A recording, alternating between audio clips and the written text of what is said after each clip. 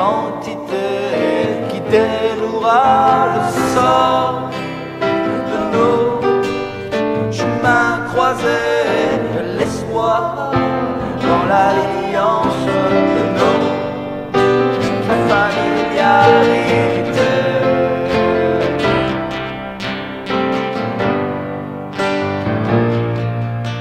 Le sang comme preuve de nos